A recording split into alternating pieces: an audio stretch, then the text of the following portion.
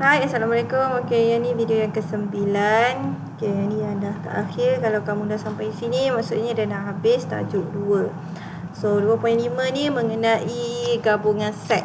Jadi, gabungan set apa?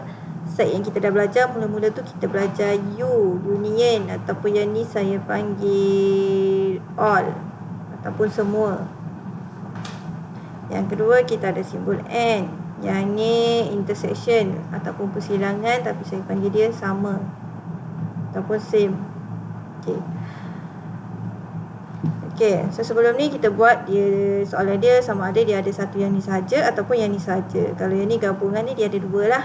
Okey, contoh yang ni dia ada bagi dua ni. Okey. Uh, y uh, semua unsur y dengan z dan apa yang sama dengan X. Ha, Itu cara baca dia. So kita buatlah hmm. Okay kalau dia buat dalam kurungan ni Maksudnya kita kena selesaikan dalam kurungan dulu. So set semesta dia bagi 1 sampai 10 So X dia dah bagi Y dia dah bagi Z dia dah bagi. So kita tinggal tengok je lah pilih saja. So Y yang ni maksud dia semua kan? So semua unsur dalam Y dengan Z. So semua unsur dalam Y dengan Z So semua unsur yang Y dalam Z ni So tulis je semula. Kalau yang dua kali tu tulis sekali saja. So 1, 2, 4, 6, 8, 9 So 1, 2, 4, 6, 8, 9 So betul lah. So dah dapat yang ni barulah kita cari Apa yang sama dengan X. So apa yang sama dengan X? X tadi ada 1, 3, 5, 7, 9 So yang kita dapat tadi 1, 2, 4, 6, 8, 9 So apa yang sama? 1 dengan 9 Okay So yang Z ni uh, dia buat kurungan juga. Cumanya dalam kurungan ni ada prime. So bila ada prime ni maksud dia uh, bukan unsur y lah. So kita kena senaraikan dulu lah apa yang bukan uh, unsur y tu. So y dekat sini 2, 4, 6, 8 so selain 2, 4, 6, 8 tu yang lain dalam ni 1 3, 5, 7, 9, 10 ok yang ni dia dah senaraikan. So guna je yang ni Okay, so bila dia dah senaraikan ni barulah kita cari X apa yang sama dengan Y prime Apa yang sama dengan Y prime. X yang ni 1, 3, 5, 7, 9 So yang ni 1, 3, 5, 7, 9 So 10 tak samalah sebab X tak ada 10 So okay, dah dapat yang ni Barulah kita cari Yang ni apa? Semua kan? So semua set yang kita dapat yang ni dengan Z.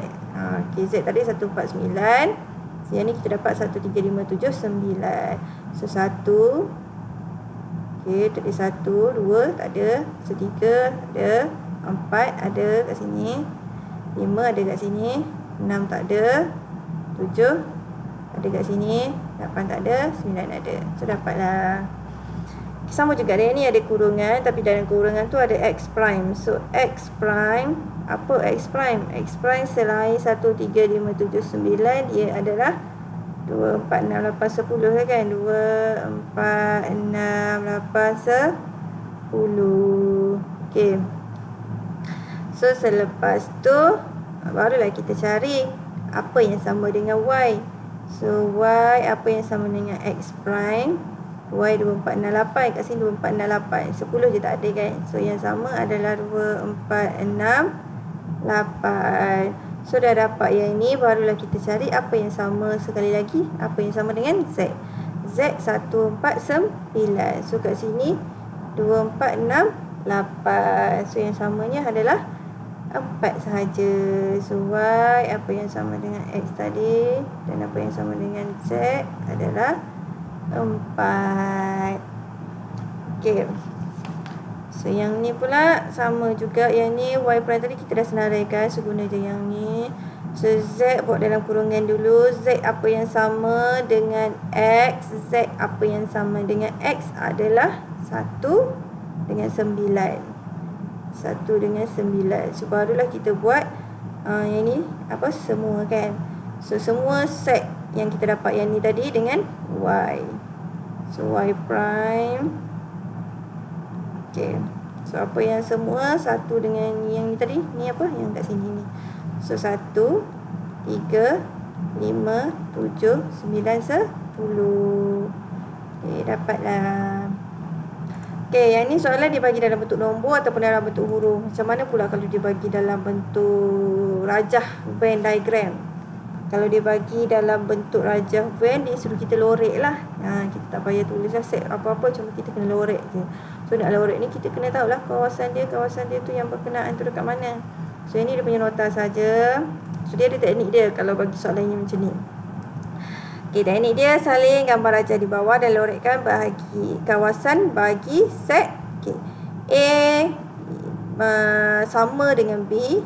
Set A yang sama dengan B. Dan tu bila dapat jawapan ini, semua set dengan C. Okey. So, first step kalau dapat soalan macam ni, kita label dulu. Kamu label dulu semua ruang ni dengan nombor. So, 1, 2, 3, 4, 5, 6, 7. Pastikan setiap ruang ni di label. So, dah label tu barulah kamu senaraikan. So, A tu dia ada uh, satu, dua, empat, lima. So, tengok yang dalam perut A saja. Dalam perut A, satu, dua, empat, lima. Dalam perut B ada empat, lima, enam, tujuh. Empat, lima, enam, tujuh.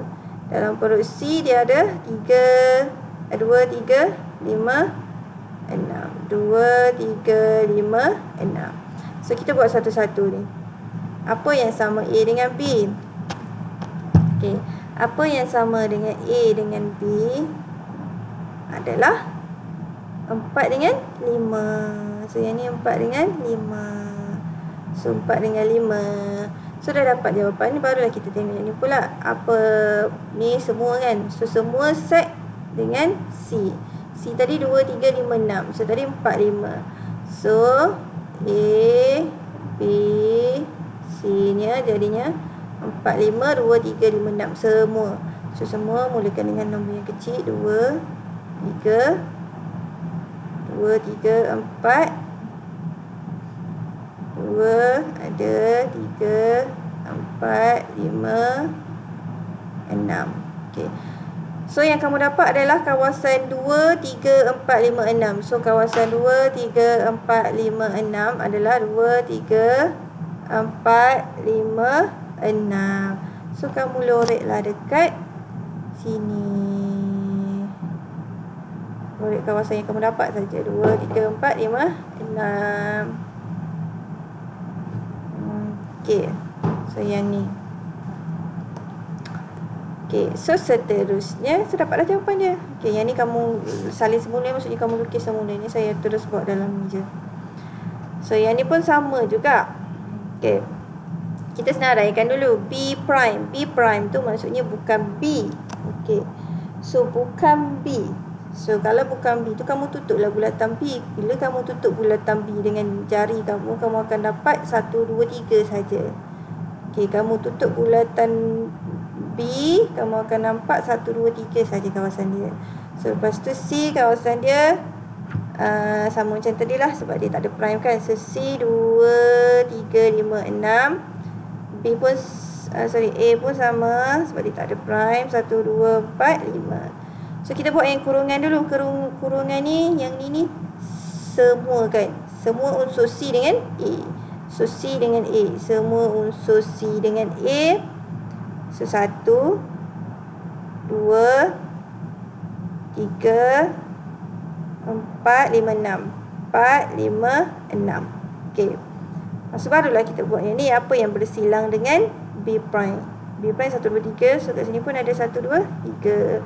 So, jawapan dia tadi, kamu akan dapat yang yang yang persilangan dia yang sama adalah satu, dua, tiga. Satu, dua, tiga. Satu, dua, tiga. So sekarang yang yang yang apa? Kawasan dia kamu akan dapat satu, dua, tiga. So satu, dua, tiga. Okay. So satu, dua, tiga. So satu, dua tengoklah kawasan dia. Satu, dua, tiga kat sini lah. Satu, dua, tiga. Okay, tolonglah kamu lukis balik. Saya buat terus atas ni. Okey, so dapatlah jawapan ya. Yeah. So kamu cuba buat latihan 16. Tu ada berapa ni? 1 2 3. Okey, so buat latihan 16. Okay, yang ni saya habiskan sikit lah. Okay, yang ni pun uh, pelengkap. Yang ni menentukan pelengkap uh, gabungan operasi. Maksudnya sebenarnya kita dah ada buat kat sini ni. Yang ni ni prime ni maksud dia pelengkap lah ni. Okay, ini ni, ni prime ni maksud dia pelengkap. So, sebenarnya kita dah buat lah ni. Rasanya kamu boleh buat kot yang ini.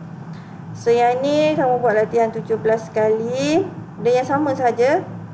Okay, contoh yang ni ni dia dah bagi X20 kan. So X ni nombor ganjil. So senaraikanlah dulu. So set semesta dia ni nombor ganjil yang kurang daripada 20. Maksudnya 1. Nombor ganjil ni nombor yang tak ada dalam sifir 2. So 1, 3, 5, 7. Uh, 1, 3, 5, 7, 9, 11, 13, 15, 17, 19, 20 tak termasuk lah sebab yang ni tak ada tanda sama dengan. So P faktor perdana bagi 10 Nah, yang ni kamu cari faktor perdana bagi 10 kamu akan dapat berapa. Okey, yang ni benda yang sama je kita dah buat dah. Uh, dalam contoh-contoh yang sebelum yang ni. Okey. Uh, bila kamu dah selesaikan, uh, tu cari ganda A5 pula.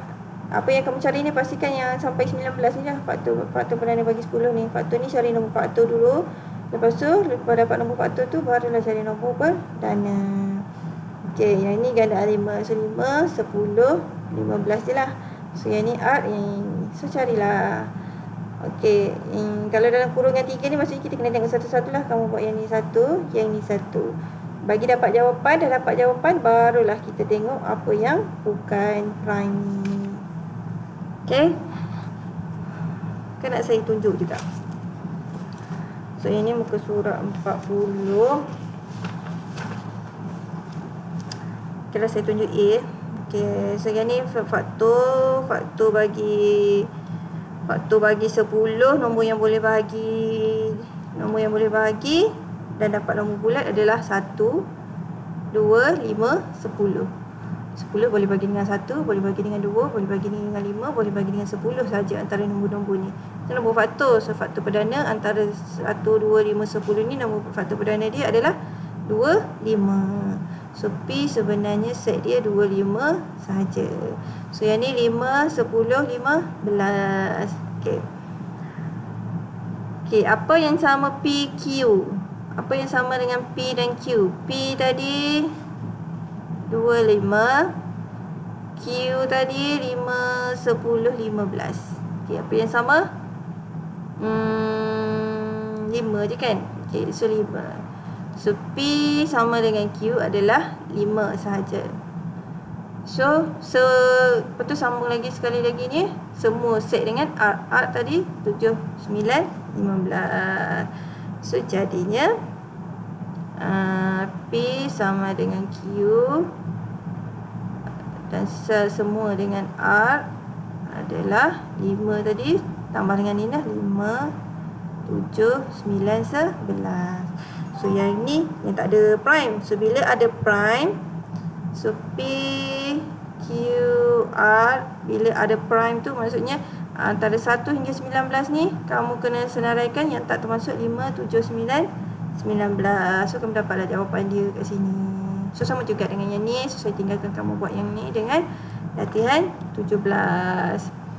Okay, so video ni dalam lebih kurang 13 minit. So yang ni habis untuk 2.5 so last kali ni dia kira penyelesaian masalah je. Yang ni saya akan buat dalam kategori latihan lah. Sebab ini bukan tajuk baru pun dia latihan saja. Termasuk dalam uh, belakang sekali dia bagi contoh soalan peperiksaan sekali ni. So basically dah habis lah. Uh, so ini sebagai latihan saja. So kamu buat sampai muka surat 40 So saya harap sangat kamu buat. So, Tajuk ni sangat simple. So nanti saya akan buat untuk latihan pula. Dan kita buat lagi satu video untuk recall balik daripada 2.1 sampai lah 2.5 so macam biasa arahan saya bagi dekat whatsapp. Terima kasih